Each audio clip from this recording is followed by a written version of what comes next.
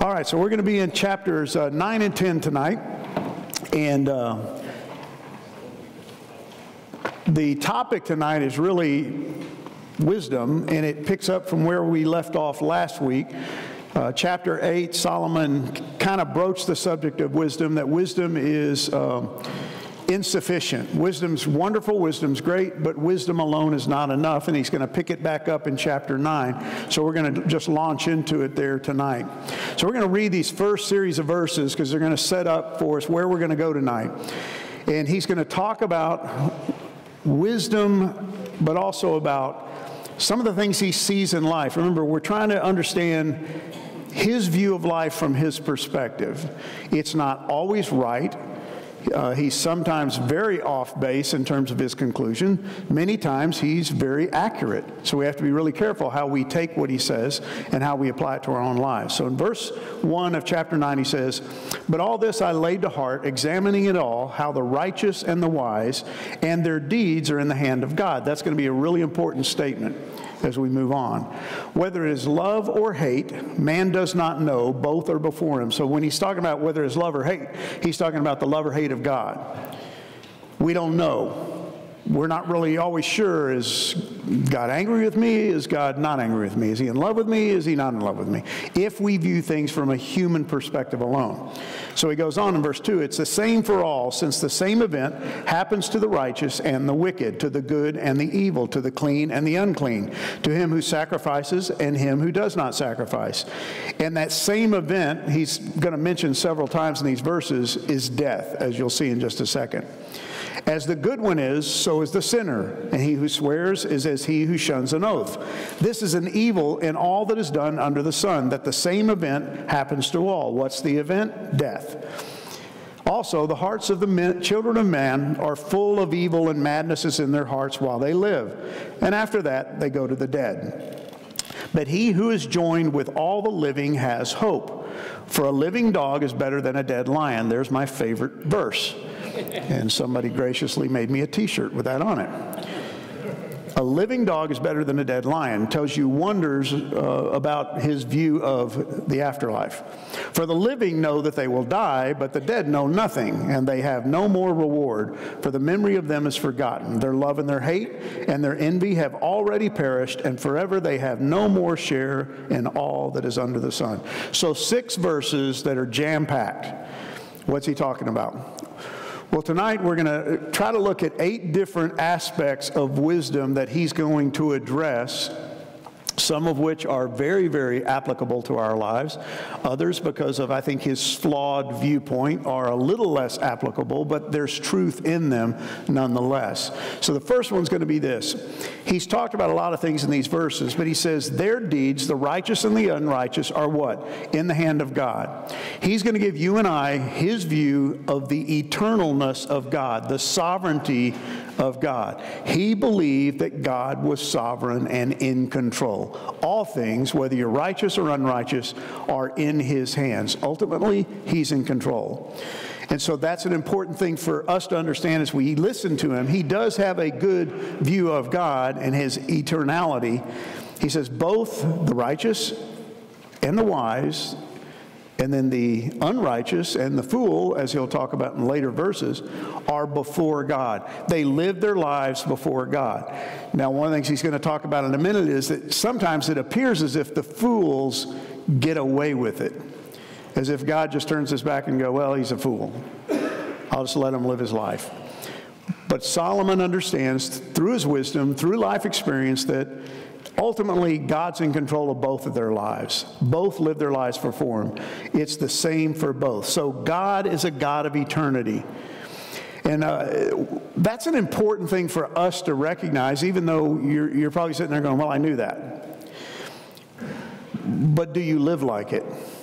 Do you live as if you believe that God is the God of eternity, that God has no beginning and no end, that God is all powerful, all knowing? He can look into your life and my life. He can look into the life of any individual and he can see the beginning and the end because he already knows the beginning and the end. God is in complete control. He is eternal, He is supernatural, and He is sovereign. So, this is His way of saying God's in control. And uh, what you got to understand is when you're talking about Solomon and when you're listening to Solomon, he has that perspective that has a limitation built into it.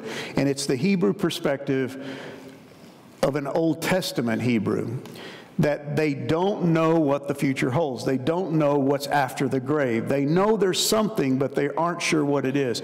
And so he has a limited understanding of this eternal nature of God. He doesn't get eternity. Well, the truth is, I don't get eternity. I don't fully comprehend eternity, what that means and what that looks like. I don't know what an eternal state is going to feel like, be like, because I'm a limited human being who lives within space and time, and I know, I know what time feels like, and I know what getting old feels like, and I think I know what death may be like, but I don't know what eternity is going to be like. So he's got a limited perspective, and he brings that to the equation. But he does know this that all men's lives, whether they're good, they're bad, they're evil, they're wicked, they're righteous, whether they give sacrifices or don't give sacrifices, are in God's hands. And, and we read that and we think, well, yeah, that's, that's right. That's a good thing. But sometimes Solomon sees it as a negative thing because he sees the incongruities and the inconsistencies that take place in life between the evil and the good, and he goes, I don't get it. We're both in God's hands, but why does he succeed and I fail? Why does he get away with murder, literally, and I, I can't get off with anything? But he does believe God's in control. And you hear in his voice in these verses that resignation and, and resentment of, okay, God, you're in control, but what are you doing? Why are you letting these things happen? And, and, if you're anything like me, you've, you've had those feelings, right? When you see something unjust happen, or maybe something unjust happens to you, and you go, why me? There are men in this room who I know their stories, and they've, they've lost loved ones unexpectedly, and you can't help but go, why? Why is this happening? And you can't help but sometimes question the love of God and the wisdom of God. And why would you do this? And this is what, really what he's doing because he is so focused on this life. And he doesn't understand the afterlife, so he focuses on this life and he can't understand why do the wicked get away with their wickedness? And why do the evil, or why do the, the righteous seem to suffer so much? But see, he's got a limited perspective. He says this it's the same for all. What's the same for all? It's this thing that ultimately leads in death. The wicked, the righteous all die. And, see, he sees that as not a positive, he sees it as a negative.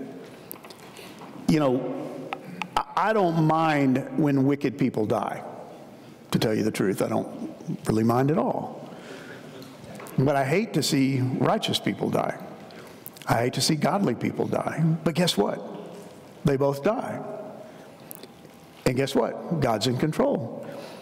And guess what? God knows the death date of every person who lives on this planet. He knows He's in control. He's eternal. And death is common to every one of us. So, what's His conclusion? Enjoy life. And he tells us, enjoy life because this is your reward. This is one of those um, statements from Solomon that we need to reject out of hand. It sounds nice, but it's wrong. He says, enjoy your life. This is your reward. Now, the enjoy your life part is not wrong. You should enjoy your life. You should enjoy your family, your kids. Um, sometime within the next probably hour, I've got a daughter-in-law who's going to give birth to a, my sixth grandchild, and I'm going to rejoice in that, and that's wonderful, and it's great. And if the, my prayer is the baby's healthy and she's healthy, and we should rejoice in those things. Rejoice in your job, your marriage, your kids, your grandkids, your health. But he says, this is your reward, and that's where he gets squirrely because his viewpoint is totally focused on this life. The word he uses in the Hebrew is this, this Hebrew word shalek, and it means your portion, your share, your inheritance. That's literally what the word means. It's your inheritance. So, what he's telling you is enjoy this life because this is what you get. This is it. This is your inheritance. But we know from the rest of the Bible, and especially the New Testament and the Gospels in particular, that that's not our inheritance. This is not our inheritance. We can enjoy blessings here, but this is not the end. This is not all we get. That's why he says, For the living know that they will die, but the dead know nothing, and they have no more reward, no more shelek, no more inheritance, no more portion. Wait a minute, Solomon. What about heaven? I think if you held a gun to Solomon's head or a javelin, he couldn't tell you about heaven. If you go back and read Hebrew literature from the Old Testament, from that time period, there's not much in there about heaven. Most of what we know about heaven we get from the New Testament. So he just sees it as there's no more reward, there's no more inheritance, there's no more portion because nobody knows what's next. Now, we've talked about this before, but this is critical for us to understand everything he says and how it infiltrates and it taints his conclusions about life. And the reality is, even in us as believers in Jesus Christ who believe in the gospel, who believe that Jesus Christ died, rose again, went back to heaven, is going to come back to earth, has prepared a place for us, is going to take us there we still live as if this is where all our reward takes place. And when we don't get it, we get frustrated. And we don't understand why didn't I get the promotion? Why didn't I get a raise? How come I have to suffer? How come my wife got cancer? How come, how come, how come, how come? And Solomon is a great example of short sightedness. This myopic, I can't see beyond the end of my nose kind of life that many of us live as Christians, and we shouldn't. So he goes on in verse 11, he says, I saw that under the sun the race is not to the swift, the battle is not to the strong, the bread doesn't go to the wise, riches to the intelligent, nor favor to those with knowledge. Now, what do you think he's talking about? Just the unfairness of life. And, and we read these statements, and they're, they're kind of proverbial in their, their language, but the fastest guy doesn't always win, right? You, have seen those YouTube videos of the, the guy who trips and falls and he doesn't win the race, even though he was the fastest on the track. We know that not always the strongest win the battle. It's the way life is. It's the nature of life. Sometimes the weaker ones win. It's, it's the incongruities, the inconsistencies, and the frustrations of living on this planet. But he says, I've watched this. The wise, wisest person doesn't always get the bread. They don't always get rewarded. And he's going to give us an example of that in just a second. And what he says is that, but time and chance happen to them all. It just happens. So it's interesting that he said, God is eternal, God's in control, God is sovereign, everybody's under the rule of God, but time and chance happens to them all. Which is it, Solomon? Make up your mind. But see, that's that human perspective that we bring to our circumstances. We, we say God's in control, but then when something happens we don't particularly like, the faster winner doesn't win, we go, well, it's just bad luck. It's just, yeah, it's just bad luck. Just happens. So he's, he's somewhat unsure in his relationship with God. He's somewhat unsure about what he believes about God because he goes back and forth. He says, Man doesn't know his time, and he's right. I don't know my time. Do you know your time? Do you know when you're going to die? Unless you pl- uh, planned your suicide, you don't. I hope you haven't. But we don't know when we're going to die. And then listen to what he says like fish that are taken in an evil net, and he's talking about his time, every man's time. So he compares it to an evil net, like birds that are caught in a snare, so the children of man are snared at an evil time. What does that tell you about his view of death? Is he looking forward to it? He, he got a great view on death. You know, man, take me now, Lord. Yea, Lord Jesus, come. You know, I'm ready. Take me. No, he's like, it's evil. It's evil. Death is evil. Because once death happens, guess what? No more reward, no more shelek, nothing beyond that. It's an evil time and it suddenly falls upon you. You're doing your business, you're going about your day, and suddenly, bam, you're dead. And he does not look forward to it. Now, I, I don't particularly look forward to my death, but I don't fear my death. I don't go out and flaunt death, but I'm not scared of death because I think I know what's beyond because of what the scriptures tell me and what God has promised me.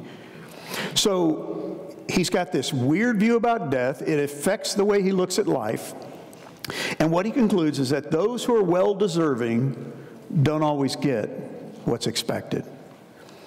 And isn't that true of living in this planet under the sun? This is the way it is, that not the people who deserve certain things don't always get it. They sometimes get what they don't deserve, and those who deserve the worst get the best. It's frustrating. It, it, we don't get it. We don't understand it. We don't know why these things happen. And all he can say is it's just a product of time and chance. It's just one of those things. But see, if you take that attitude, then you've suddenly said that God's not in control. That God is aware of what's going on in your life, and God's not, not up in heaven ever wringing his hands and going, Oh my gosh, how did that happen? I turned my back and look what happened. Ken's in trouble again. He screwed up again. I can't ever take my eyes off that guy. No, he's in control. It's not a product of time and chance.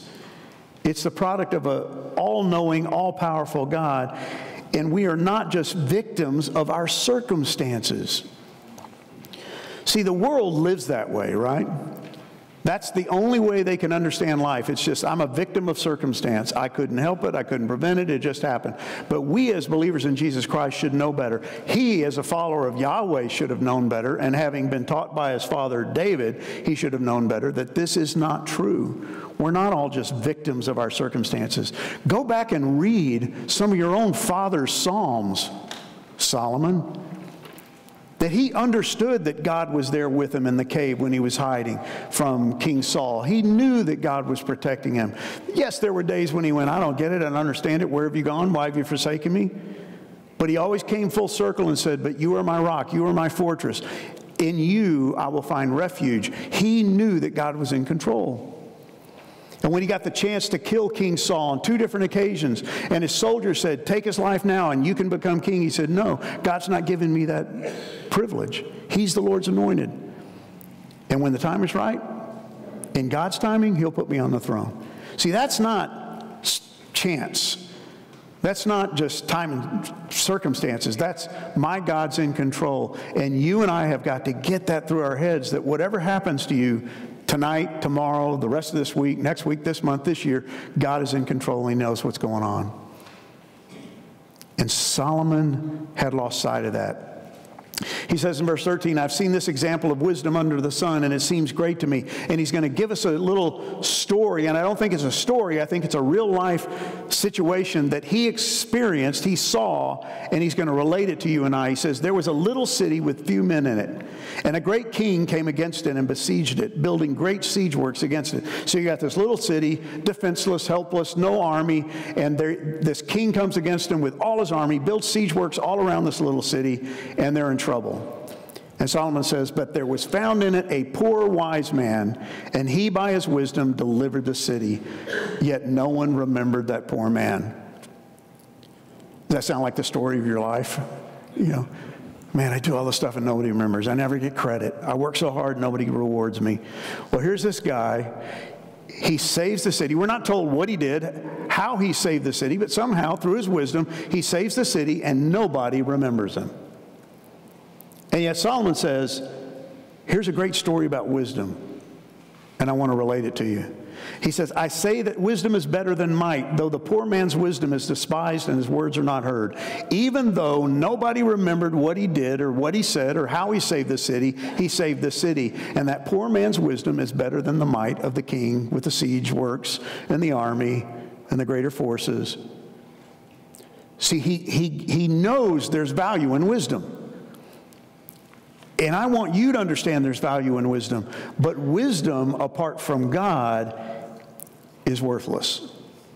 Human wisdom is most definitely worthless. But he sees that this, this poor man, whoever he was, even though he, he was forgotten, he saved this city. And he says, The words of the wise heard in quiet are better than the shouting of a ruler among fools. I don't care how big your army is, I don't care how many siege engines you have, I don't care what you've got to bring against this small town. That one man with his wisdom conquered this army. Wisdom is better than weapons of war. But then listen, listen what he says. But one sinner one sinner destroys much good. So he's juxtaposing. You've got this one poor wise man who doesn't get any recognition for what he did, and all it takes is one sinner to screw it all up. See, Solomon looks at life and he understands that, man, wisdom is great, but man, sin is powerful. And I can't read this passage without thinking of a particular event in my life that happened many years ago when I was in my mid 20s and we were coming to this church. And uh, my wife and I had, I think we had two kids at the time, and we were in a small group. They met in our home, and we were all young couples in our 20s with little kids. And there was a couple in that group, and he was a American Airlines pilot, former um, Air Force pilot, probably six foot two good looking guy, looked like a model. His wife was gorgeous, had a beautiful little girl, and he was real intimidating. And uh, every time we got together in our small group, he would treat his wife like crap. And he would talk down to her, and he would make fun of her, and he would demean her, and it would make us all so uncomfortable. And every night after we finished, my wife would go, He weirds me out. He just creeps me out. I'm like, What, what are you talking about? the way he treats his wife is just wrong. Uh, yeah, it's pretty awkward. It's, she, she goes, you need to talk to him. About what? About the way he treats his wife. And he always hugs all the women, and he, it's, he's real handsy. I'm like, oh, no, I, you know, no, I, I don't think he really is. He's just, you know, he's sarcastic. And she goes, you need to talk to him.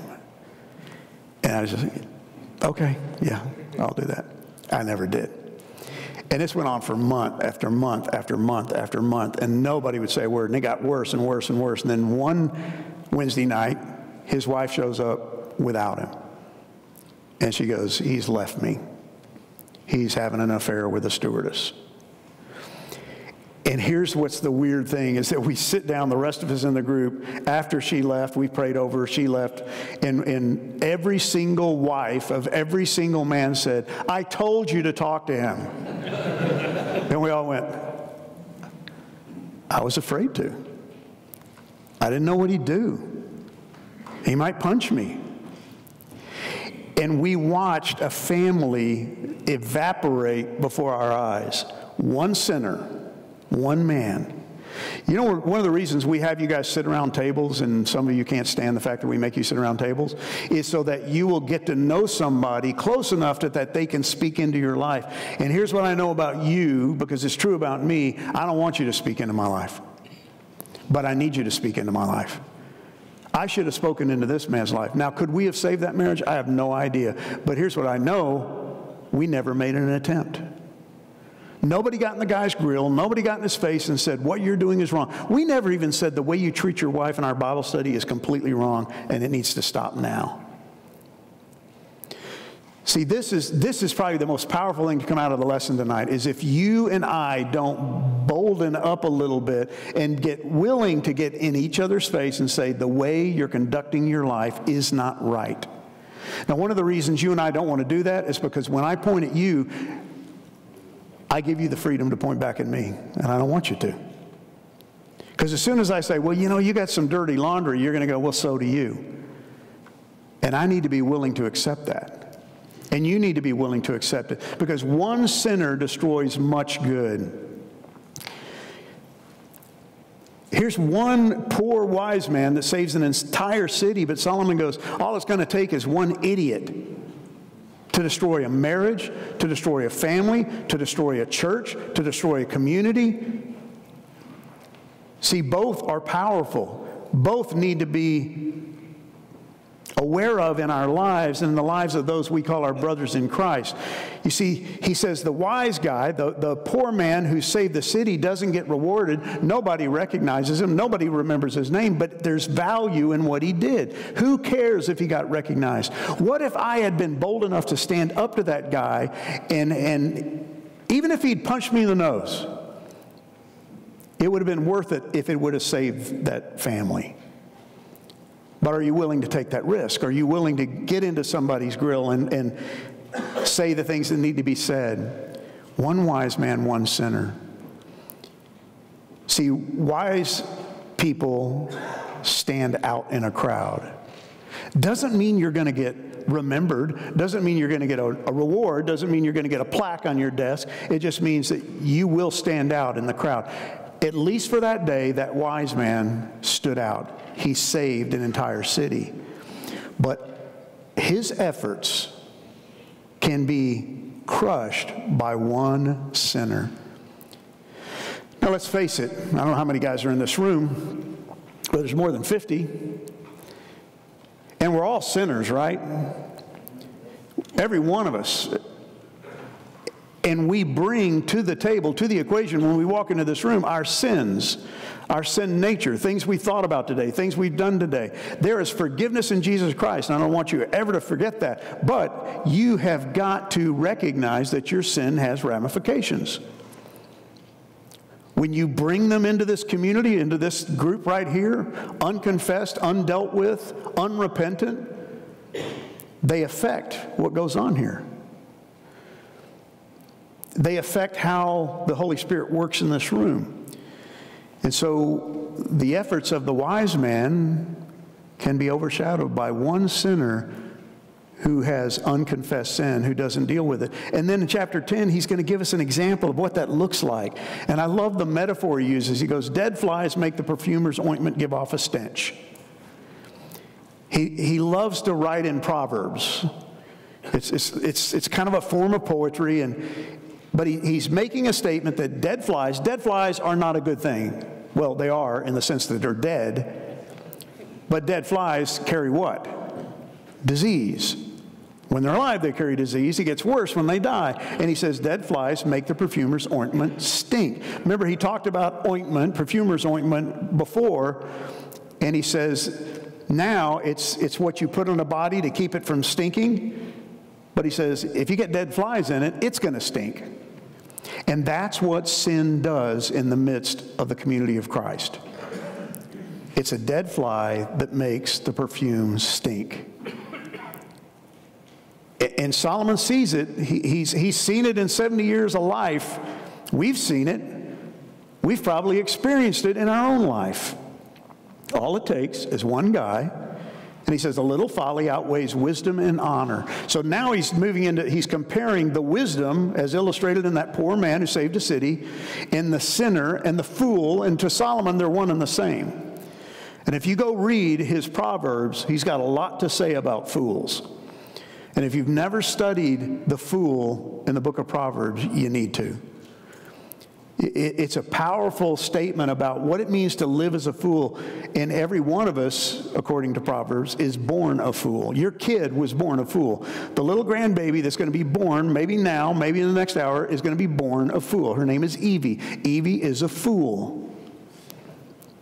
I love her. Haven't seen her yet, but I love her. But she's a fool because God says we're all born fools without wisdom, without knowledge. And he says, A little folly outweighs wisdom and honor. A wise man's heart inclines him to the right, but a fool's heart to the left. That is not a political statement. Okay? Don't put that on a coffee mug. Don't put it on a plaque out in your front yard. It has nothing to do with what you think it's talking about. He says, even when the fool walks in the road, he lacks sense. And he says to everyone that he's a fool. Now, he's not verbally saying, hey, look at me, I'm a fool. He just lives his life and he's a fool. Fools are easy to see. And, and the greater they get in their foolishness, the more they shine like fools. They don't think they're a fool. They don't think they act like fools. They think they're wise, but they're not. And their fool, foolishness stands out like a sore thumb. If the anger of the ruler rises against you, do not leave your place, for calmness will lay great offenses to rest. He's just talking about, man, if you're going to be one or the other, be wise. Don't, don't, don't talk back to your boss. Don't read your boss the riot act, because he can fire you. Don't be a fool. Be wise. Be careful. Calmness will lay great offenses to rest. And then he goes on, there's an evil that I've seen under the sun, as it were an error proceeding from the ruler. Folly is set in many high places, and the rich sit in low places. He says, fools get rewarded, they get the better job, and those who are rich get demeaned and they get put in low places. I've seen slaves on horses and princes walking on the ground like slaves. I don't get it. And you can hear in his voice, he doesn't like it. I don't like it. I don't like it when fools get rewarded. I don't like it when those who are undeserving get what they don't deserve. They don't get the evil they deserve, they get good things. I don't like that. Neither does Solomon. But here's what I know that I think sometimes he lost sight of God's in control. God knows what he's doing. Give God time. It's not over yet. So he talks about folly and he's basically going to tell us that a fool can't be avoided. He will make an impact in your life. If you live like a fool, it will impact the lives of those around you. If you have a son or daughter who is a fool, and if they're born a fool, guess what? They remain a fool until you help them migrate out of their foolishness. And they only get worse over time. Innocent fools, babies, become non innocent fools. And so we have to help them. And that's why he says, Dead flies make perfume stink, a little folly outweighs wisdom, and fools stick out like a sore thumb. They're all around us. And yet, they get rewarded. They end up in high places. They get the corner office. They get things that we think we're deserving of, and maybe we are deserving of. But you know what? I'd rather be the poor, wise man who never gets recognition, and I do the right thing and I save the city, than to be a fool who rides on a horse, sits in the corner office, and gets all the accolades. Because guess what? Fools destroy communities, they don't build them up, they don't save them. This, this part is one of my favorite parts in the whole book of Ecclesiastes because he's going to talk about work, your work and my work, but he's going to use some interesting analogies. And he says, He who digs a pit will fall into it. That's a job, right? You're digging a pit. But he's got such a pessimistic view on life. Because if you dig a pit, you could fall into it. He's not done. A serpent will bite the hand of him who breaks through a wall. So if your job is to break through a wall, you're working on a construction team, you got to break through the wall. Well, you get to the other side, you get bit by a serpent. Solomon, what's wrong with you? Does everything have to be negative to you? Then he says, He who, quarrel, who quarries stones is hurt by them. So you go out to quarry stones and one falls in your head. It doesn't always happen, but it could happen. He who splits log is endangered by them. And then he says, if you happen to split logs for a living and you use a blunt iron, guess what? You're going to have to work harder. What, what's he trying to tell you and I? That these things are inevitable. They're part of living life whatever you do for a living, I don't know what you do, but whatever it is, there are occasions when it can harm you. It doesn't always turn out well for you. It doesn't always go well for you. And so he's just saying, this is kind of life. You do your job, you quarry the stones, one falls in your head, one crushes your foot. You go to split logs and you get crushed by a log. Things just happen.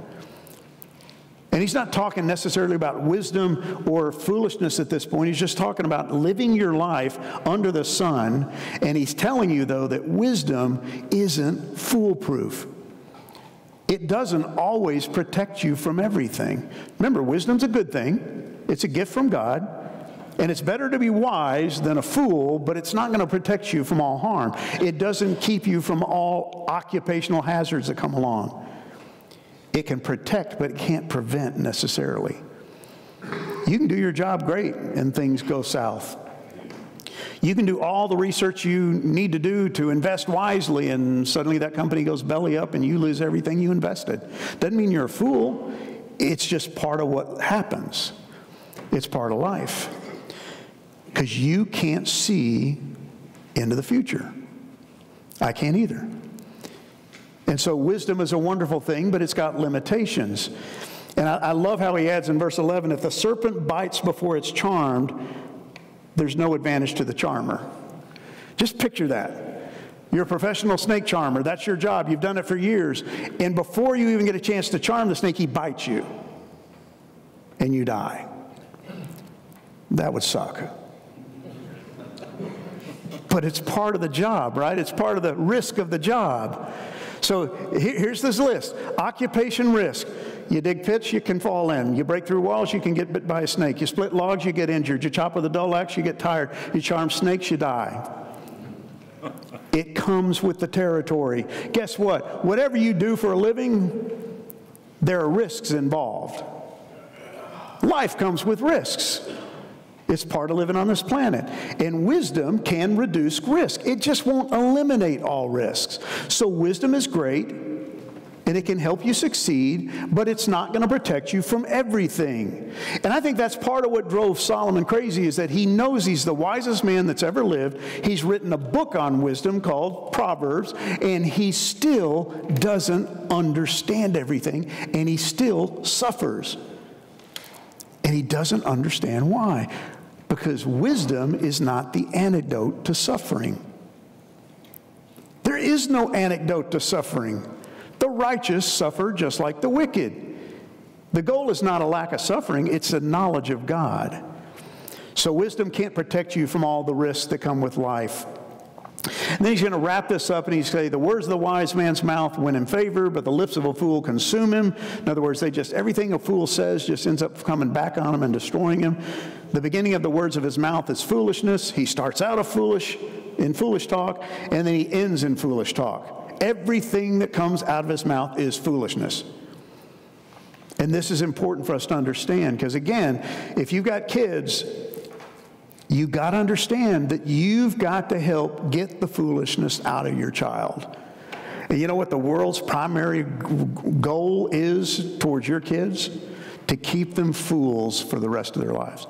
Did y'all read that story about the guy that was 30 something years old and had to be kicked out of his parents' home because he wouldn't pay rent?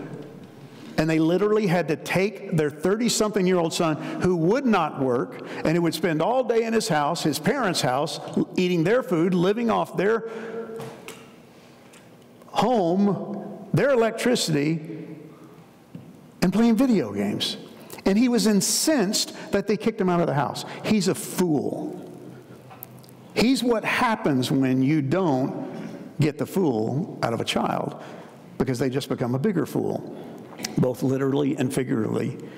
So a fool multiplies words, though no man knows what's to be. He talks about things he has no clue about. He talks about the future. He doesn't understand it. And no one can tell him what's coming. Because here's Solomon, the wisest man in the world. He doesn't know what's coming. How does a fool know? He doesn't, but he acts like he does.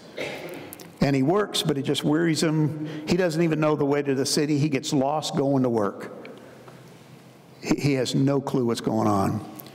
So foolishness is risky because his words, his speech, his actions bring harm, not only to him, but everybody around him.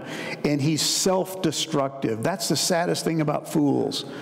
My, my youngest son, who uh, is now a sergeant in the Marines, when he was going through high school, he went into deep, deep foolishness. And I'm going to show you a chart in just a second that in the book of Proverbs, there are five different Hebrew words that are translated fool. And when we read Proverbs, every time we see the word fool, we think it's all the same word. It's not. It's five different Hebrew words that give us five different capacities of foolishness. And they start on one end of the spectrum, an innocent fool, like a baby, all the way to the unregenerate, unrepentant, undisciplinary fool and my son was somewhere in the middle, headed towards the right. I saw it, it was coming.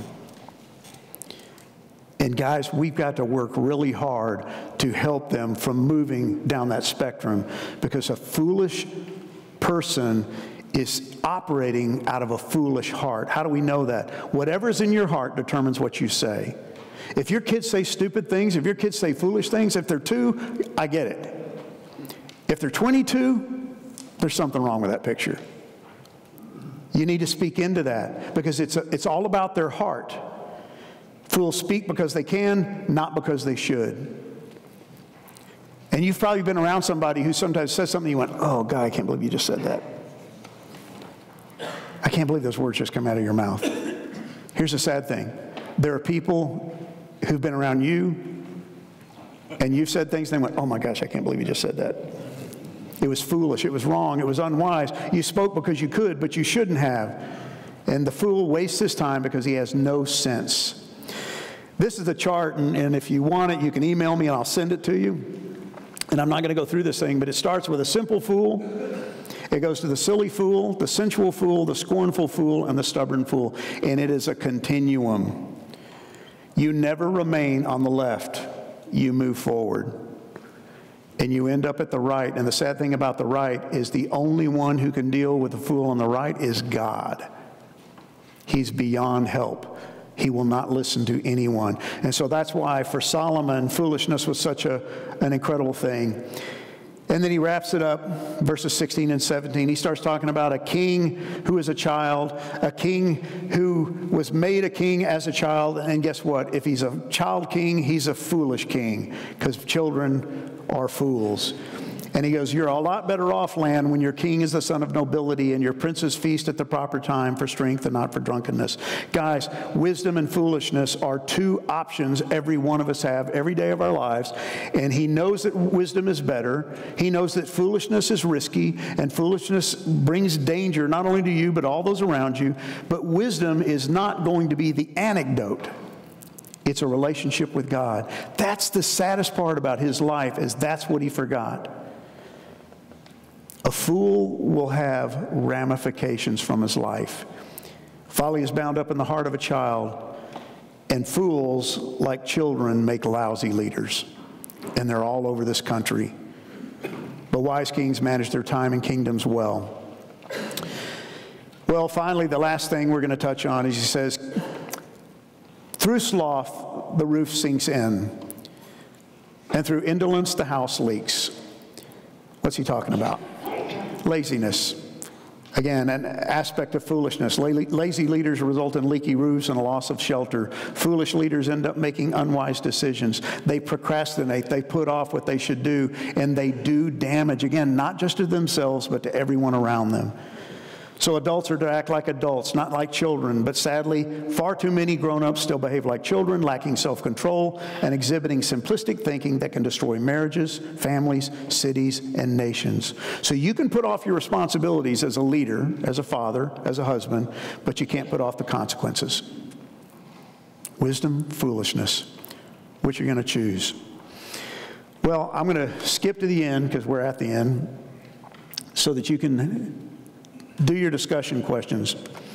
And, and this particular topic is, is not a fun topic in the sense of talking about foolishness. Nobody wants to admit they're a fool. Nobody wants to admit that they lack wisdom. Nobody wants to admit that maybe they live their lives as if God doesn't exist or that, you know, I can do this without him. But that's why these questions are so important. So, the first one I want you to discuss is the ways in which we as believers can misuse and abuse the good gifts God has given us. Wisdom is a gift from God, it's a good gift, it's a wonderful gift. Use it. But how do we misuse it? How do we become so wise that we don't think we need God?